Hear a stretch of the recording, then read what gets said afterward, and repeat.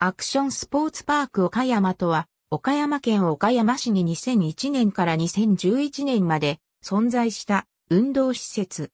中国地方を代表する日本最大級のスケートパークとして知られたほか、クライミング設備も充実していた。2001年8月、岡山市が所有する国鉄岡山操車場跡地に建設。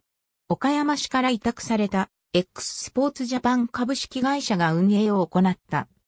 広大な敷地内にはアグレッシブインラインスケート、フリースタイル BMX、スケートボード向けのスケートパークの他に、ローラースケートリンク、インラインホッケーリンク、一周600メートルの外周コースも備え、様々な利用者を受け入れていた。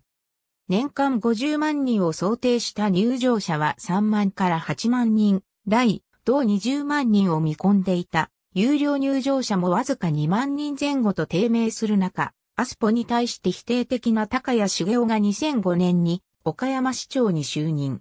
2010年6月、1年後に迎える X スポーツジャパンとの契約期間満了を機に、具体的な跡地利用の計画もないままアスポの閉鎖を発表した。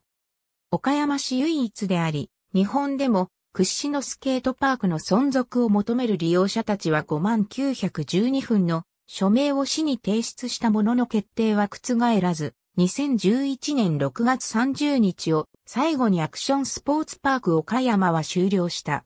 アスポの運営は独立採算性のため市の追加負担は生じていないが、X スポーツジャパン社の累積赤字は2009年度末で約3億円に膨らんでいた。ありがとうございます。